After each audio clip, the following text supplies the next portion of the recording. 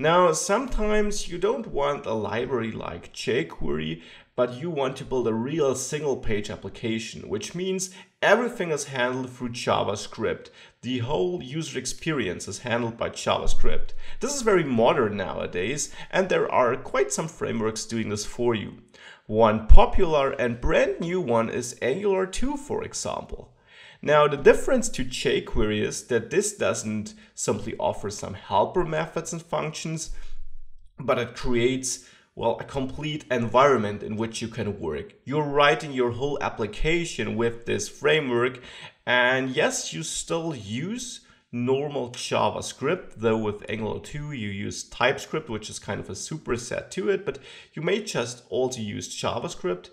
But you're working in that environment the framework gives you with all the commands and tools the framework gives you. So it's a much more powerful thing than a library like jQuery, which only adds certain parts.